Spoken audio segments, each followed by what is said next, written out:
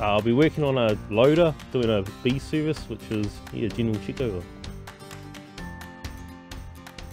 Uh, we work from a small chainsaw all the way up to a 20 ton digger and everything in between, trucks, and it's different day by day. While I've been at QRS, I've completed my level 4 heavy diesel mechanic and we've completed a level 4 first line business management, also a test and tag, and I have completed wheels, tracks and rollers, class 2 and class 4 driving licenses.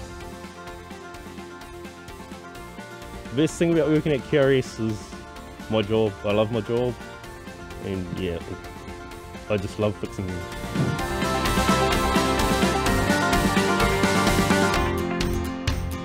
The hardest part is walking through our doors, so we welcome you. Haere mai.